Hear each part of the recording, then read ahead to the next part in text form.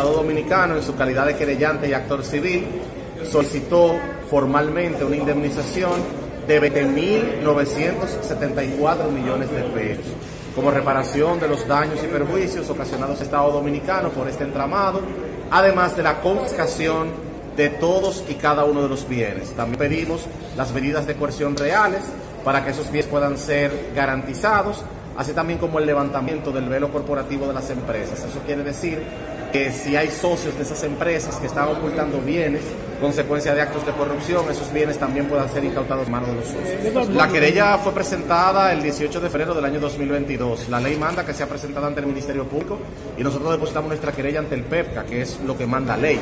Ante el tribunal lo que se hace de conformidad al artículo 297 del Código Procesal Penal es fijar el monto de los daños perjuicios al que nosotros como víctimas, constituyentes y actor civil, aspiramos en un juicio de fondo. Y nosotros lo hicimos en el plazo del artículo 297 del Código Procesal Penal. El día 22 de mayo del año 2022 nosotros formalizamos unas aspiraciones que alcanzan los 20.974 millones de pesos, porque